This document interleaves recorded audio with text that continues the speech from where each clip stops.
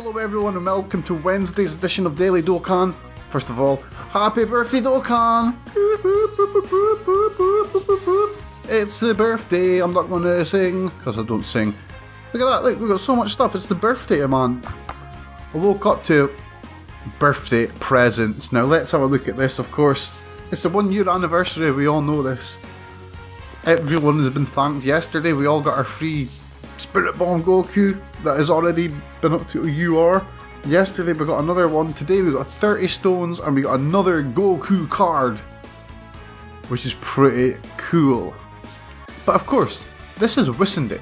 What I'm going to do is, because we've got a stack of stones, I'm not going to do that multi-summon. I think that's a bit of a waste of time actually. I think they could have maybe give us a free multi-summon. Come on. But hey, that's another story. What I'm going to do is I'm going to do one of our Super Saiyan 2 Carnival pools. And then we will build our Whisenday team from the colour we get from here. The good thing is we know it will be a colour. There's not going to be any rainbow teams today. So, can't... I think I'll do this one like the Macho Man, yeah. I'm gonna go and kiss her the finger. Ooh, yeah. Dig it. Where's it going? Poop. It's going to be poop. Poop. Poop. So it's a Vidal. Today's team will be an all blue team, aka Agile type. So with the anniversary, we have got anniversary events now.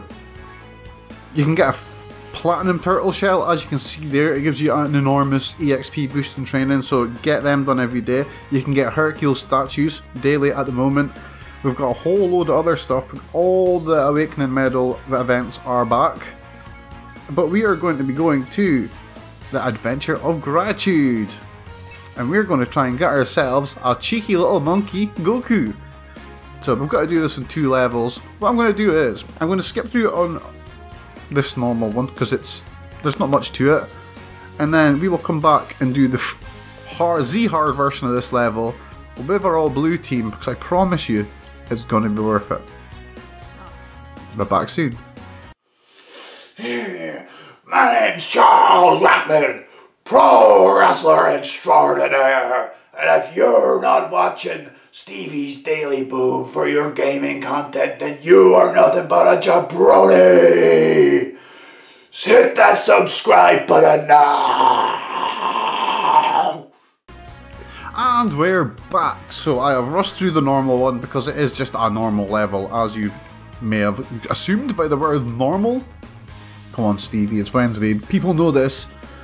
Who are we going to pick for all blue? So I think we're going to go with the Genki Dama SSR. I'm not even going to look through the team, I'm just going to do it. So I'm obviously not using this team. You might find this team a bit comical, but they all link amazingly. It was basically a Dragon Ball Saga team I've been working on on the tablet, just a little experimenting. So we'll get rid of this team and we will build our all blue team. So we will have... Here's the team everyone. As you can see I don't have much choice when it comes to agile types so we went with our Super Saiyan Bardock up front. Ki plus one to agile types. Let's just hope we get some good stuff. Monster Zarbon. I've never used that card yet. I basically just leveled it and didn't do anything with it. This could be really bad. So I'm not going to say what happens here. I'm not going to spoil the surprise. I played through this on my phone earlier. I have already maxed out my little monkey Kid Goku. The reason I maxed it out so fast, I will tell you after this, of course. I don't want to spoil any potential surprises if you've not played this already. I don't know why I'm doing that with my eyebrows. I seen a girl on YouTube the other day and she was like, I can do this with my eyebrows and I'm totally unique because of it. I was like, no, I can do that too. I'm getting distracted, everyone.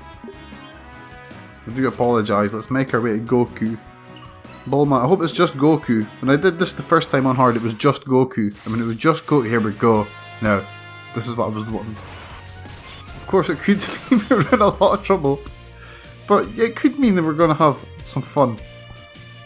Did I even select any support items? Oh man, this could be really bad.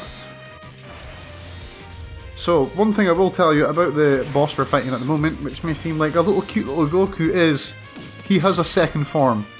This is not even his final form.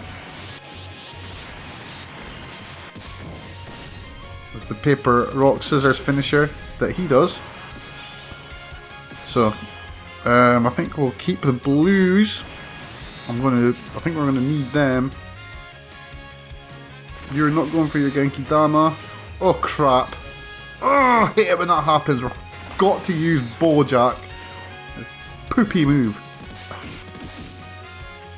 Bojack. I wonder if you can hear the people outside. There's a workman outside.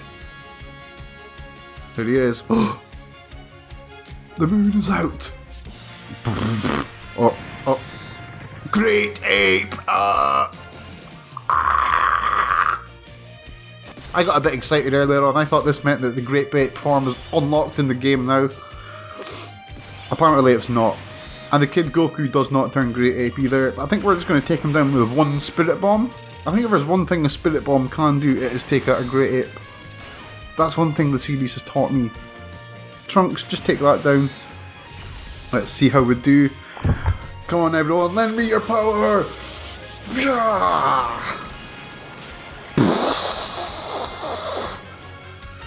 Spirit Bomb for the win. Although he just takes a little bit of ki off a Gotenks to finish him off. But overall, Spirit Bomb!